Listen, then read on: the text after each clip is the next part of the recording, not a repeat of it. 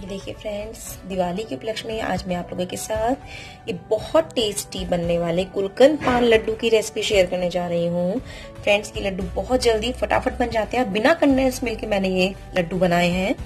और इसमें मैंने कोई गैस कुछ भी नहीं जलाया। ऐसे ही मैंने बनाए हैं। तो आप देखिए recipe hello friends welcome to my channel kitchen tadka with Pooja मेरे चैनल पर नए हैं तो मेरे चैनल को प्लीज़ लाइक सब्सक्राइब करना मत भूलिए।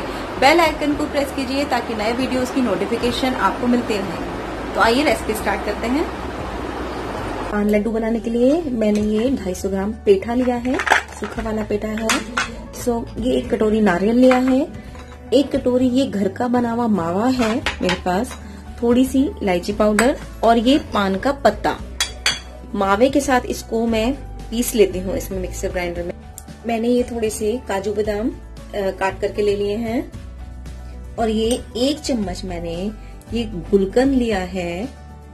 इसमें मैं ये इसको मिक्स कर दूँगी ताकि हमें इसे भरने में आसानी रहेगी। ये मैंने इसको मिक्स करके कर लिया है। अब मैं इस पेठे को कद्दूकस कर लेती हूँ।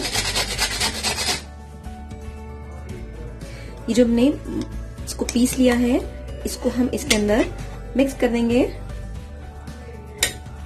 अब मैं इसमें ये हमने डाल दिया है। अब इसमें ये जो कोकोनट है ड्राई कोकोनट इसको भी हम इसमें मिक्स कर देंगे। साथ में ये इलायची पाउडर और मैंने थोड़ा सा ये ग्रीन कलर डाला है, इसको मैं इसमें मिक्स कर देती हूँ। अब हमें इसको अच्छे से